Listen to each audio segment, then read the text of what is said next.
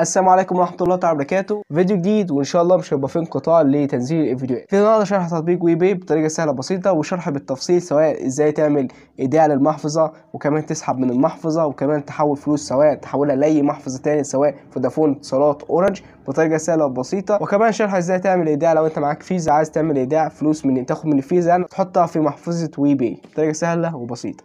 فبدون كتير نروح للشرح. عشان نخش على تطبيق We Pay طبعا رابط تحميل التطبيق تلاقيه أسفل في ال description أو تخش على Google Play وتحمل عادي مفيش أي مشاكل. هتدوس على كلمة تخطي. يا شباب. بعد كده بتدخل رقم التليفون اللي أنت عامل بيه المحفظة وال password اللي هي كلمة السر. وندوس على كلمة اللي هو دخول. يا شباب. بعد كده بندوس على كلمة موافق اللي هو على الشروط. يا شباب. بعد كده نروح على كل تفصيلة في البرنامج عملية السحب والإيداع وإزاي تبعت فلوس وإزاي تدفع فواتير وكل حاجة. أول حاجة عندك الخانات دي كلها اللي هي خاصة بالدفع والمعاملات كلها. لو هتسحب مكنة ام لو هتحول فلوس لحد لو هتدفع فاتورة الإنترنت غاز مية والكلام ده كله. هناخدها بالترتيب. أول حاجة دفع الفواتير. وطبعا أنت ممكن تشتري أي منتج من السوبر ماركت أو مشترى اللي هو من السوبر ماركت أو بقالة عن طريق We Pay ده اللي هنشرحه في الفيديو ده. أول حاجة ندوس على كلمة رجوع طبعا انت بتصور الباركود ده اللي انت لو اتصورت من السوبر ماركت. يا شباب. أول حاجة بنروح على دفع الفواتير ندوس عليها. يا شباب. هنا خدمات WE الخاصة اللي انت لو عايز تشحن خطك والكلام ده كله. هنا ممكن تدفع تسحب فلوس عن طريق فوري تتبرع دفع فواتير المية والغاز وترخيص سيارة وتذاكر سياحة وتذاكر طيران. وهنا خدمات WE لو انت عايز تدفع لو انت معاك خط نت WE ممكن تجدد الباقة وتشتري باقات إضافية خلال الشهر. رقم بندوس بس على كلمة تجديد الباقة. فبنكتب رقم التليفون وبنحدد المحفظة وندوس على كلمة استمرار. فانت بتجدد باقة من خلال محفظة We Pay تمام يا شباب هندوس على الرجوع تمام يا شباب.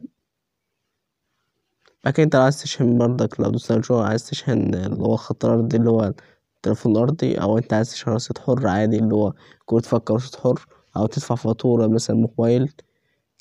تمام شباب فبتكتب رقم التليفون و لو أنت عايز تشحن رصيد عادي من المحفظة. بتكتب كلمة المرور وتدوس على كلمة استمرار. بس لازم يكون معاك فلوس على المحفظة. تحدد المحفظة وتدوس على كلمة استمرار. بعد كده بندوس على كلمة الرجوع وتشوف الخيار اللي بعد كده. يا شباب. فأنا مثلا عايز أدفع مثلا فواتير وكل حاجة في خلال اللي هو دفع خانة الفواتير. أروح على كلمة تحويل الأموال فأنا ممكن أحول فلوس لأي حد سواء معاه محفظة فودافون كاش اتصالات كاش أورنج كاش. يا شباب. فبكتب مثلا الرقم اللي أنا عايز أحوله وبعيد كتابة نفس الرقم. وبحدد المحفظة وبدوس على كلمة موافق. يظهر لي كلمة السر بتاع المحفظة أكتبها. وبعد كده بتحول لي فلوس يا شباب. وانت لو مش عارف الكلام ده كله ففيديو مختصر أنا عامله إزاي تحول فلوس لأي حد من خلال We Pay يعني رابط الفيديو تلاقيه في ال description هنروح للخيار اللي بعد كده. يا شباب. خيار بعد كده لو انت عايز تسحب فلوسك من الفرع لو انت معاك رصيد على We Pay وعايز تسحب من الفرع فالعملية سهلة بسيطة. بتدخل رقم اللي هو خدمة العملاء عشان هو يجيله طلب بعد كده بيجيلك كود وهو بيديك فلوس يعني.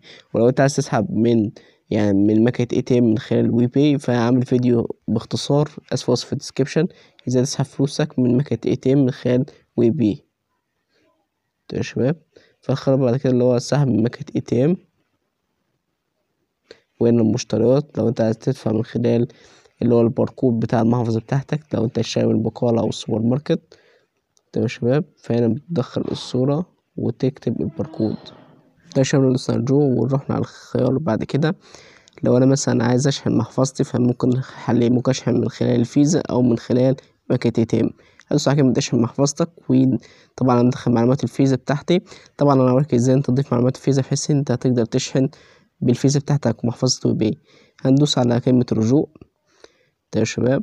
طبعا بعد ما تضيفها بتحدد المبلغ وتدوس على كلمة استمرار لو أنت عايز تضيف للفيزا. بس نروح لطريقة إزاي تضيف معلومات الفيزا. هندوس على كلمة رجوع بعد كده ندوس على كلمة محفظتي اللي تحت خالص بعد كده ندوس على علامة الزائد تشاب بعد كده بنكتب رقم البطاقة وتاريخ الانتهاء واسم صاحب البطاقة بعد كده بندوس على كلمة أضف البطاقة.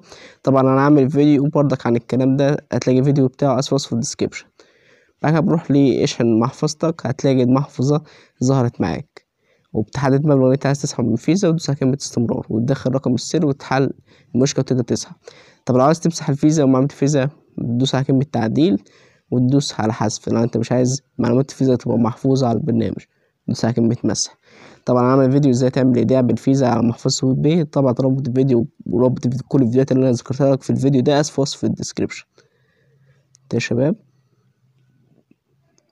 بعد كده إحنا مثلا لو رحنا ل كده مش هتظهر معلومات الفيزا.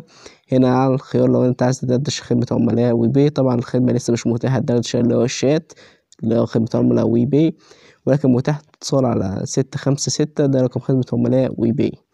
وطبعا هنا السجل بتاع المعاملات بتاعتك اللي هي معاملاتك اكتملت وما اكتملتش والكلام ده كله. وبس كده. بكده شباب الفيديو بتاعنا خلص. على الفيديو متنساش تعمل like واشتراك في القناة. سبحانك اللهم وبحمدك. استغفرك واتوب